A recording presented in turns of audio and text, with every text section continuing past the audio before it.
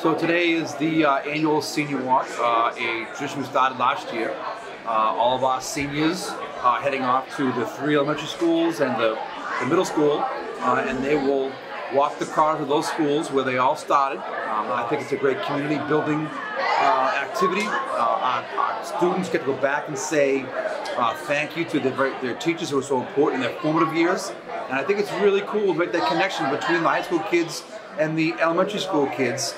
Um, it really kind of gives them some excitement about coming to the high school and seeing that you know uh, when it when it ends, it's really a great time, and I think it's a great opportunity uh, for both sides to kind of say thank you, congratulations to each other.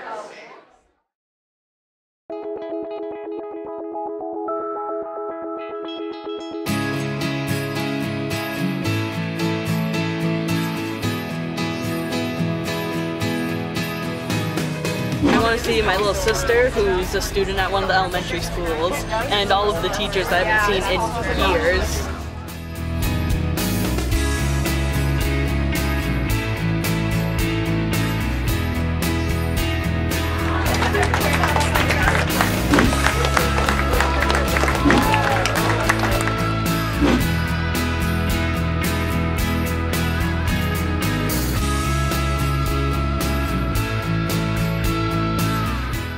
Thank everybody at Bryantville. It's it's to be emotional going there. Just how, how much you guys impacted on my life.